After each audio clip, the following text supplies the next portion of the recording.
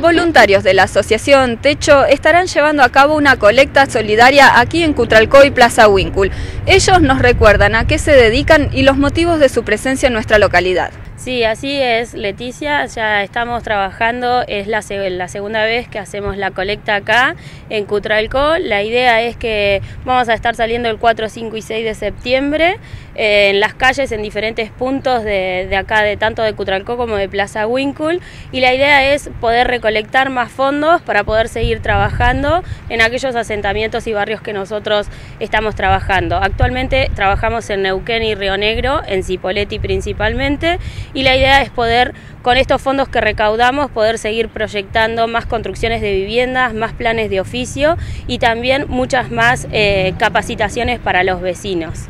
¿De qué manera pueden colaborar los vecinos? Digo, ustedes piden determinada cantidad de dinero, cada uno aporta lo que puede. No, la idea es prácticamente que cada vecino se acerque a los voluntarios, principalmente para conocer un poco más de la organización y también un poco para, para ayudarnos. Cualquier monto es eh, muy importante para nosotros. Tenemos la verdad que un objetivo bastante alto este año y, y la idea es poder llegar a este objetivo y poder seguir colaborando. También tienen una página de que los chicos van a estar haciendo socios con planillas y ellos van a un aporte mensual, que esto es lo que nos ayuda a planificar a mucho más largo plazo.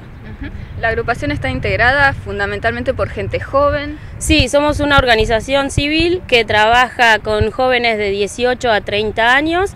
Estos 30 años no son un limitante para nosotros, sino que cualquier persona que tenga ganas y voluntad de poder participar y poder trabajar lo puede hacer tranquilamente. No, no hay necesidad de un límite de edad, simplemente es tener ganas y disponer de un fin de semana para poder acompañarnos y ayudarnos justamente la colecta tiene una particularidad que es que puede participar todos, la abrimos a, todo a todos los ciudadanos, pueden trabajar niños desde 2, 3 años hasta el abuelo o la abuela que tengan ganas de participar. Es en el único momento que abrimos como la convocatoria a toda la familia. En otras oportunidades ya han estado aquí. ¿Cuál fue el, resultado de esta convocatoria? La verdad que la primera experiencia la tuvimos el año pasado y los chicos lograron llegar al objetivo de la construcción de una vivienda. Para que tengan una idea, hoy el valor de una vivienda de emergencia anda en 14.500 pesos y los chicos eh, pudieron recaudar esos fondos para, para, poder de esta manera colaborar. Es decir, la ciudad de Cotralcó y Plaza Winkle nos ayudó a llegar a, a esta construcción de la vivienda. Reiteranos, por favor, los días que van a estar aquí en Cutalcó Plaza y el lugar donde van a estar apostados. La vez anterior fue en el reloj. Sí, los chicos van a estar centrándose en el reloj y de ahí se van a desparramar en diferentes puntos estratégicos de las ciudades y de esta manera como los van a poder ver. Van a estar identificados con pecheras y una alcancía y de esta manera los chicos como se pueden acercar y con preguntarles también si les interesa conocer un poco más de la organización que los chicos les van a saber dar la información. ¿Los días y la hora? Los días van a estar desde la mañana, tipo 9 y media de la mañana, hasta las 8 de la tarde durante los tres días. Este año, como cada uno de los años, tenemos nosotros un lema.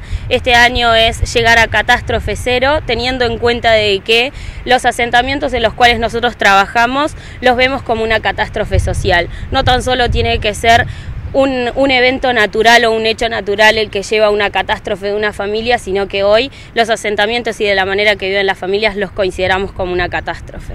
No sé si alguno de los otros voluntarios quiere agregar algo. 4, 5 y 6 de septiembre, que es el próximo fin de semana, este que viene no el otro. Vamos a estar acá en Cutralco y Plaza Winkul, más o menos a partir de las 9 y media por ahí, y ahí vamos a distintos puntos.